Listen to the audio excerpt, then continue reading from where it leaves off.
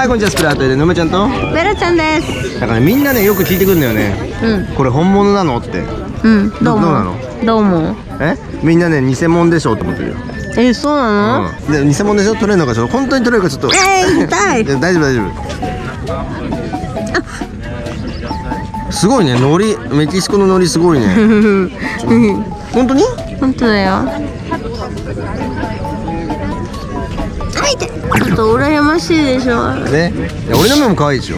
あ超可愛い。ほらこれ本当の目。取れないでしょああ目がおかしく目がなっおかしくなった。た 目ん玉が上行った。ということでねまあ本物らしいです。